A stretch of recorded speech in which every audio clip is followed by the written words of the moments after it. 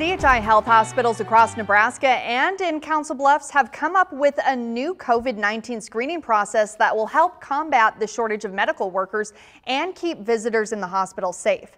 On top of that, this new system will allow people who were previously screening to get back to their normal assignments. 3 News Now reporter Zach Williamson has the story. For well over a year, CHI Health hospitals have needed to use medical workers to screen patients, visitors, and staff for COVID 19.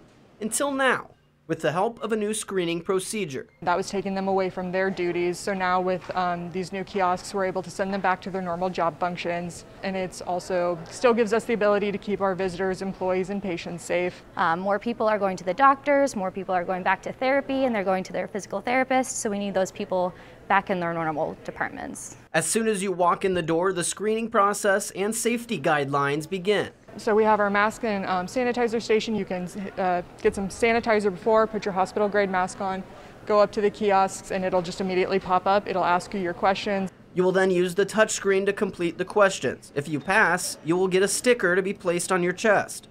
If you fail, you'll be asked to leave. The hospital wants to remind everyone that while mask regulations have relaxed, the federal government has mandated that healthcare facilities have to continue to mask, even if you are vaccinated, this to help keep everyone safe. Sometimes people do forget because it's not common. You're not wearing your mask to the grocery store or to school or other places in the community. So you walk in our doors, you might forget, a volunteer might remind you, or you might see a sign that says, please grab a hospital grade mask. Just put it on and then continue on to our kiosks. Reporting in Omaha, Zach Williamson, 3 News Now.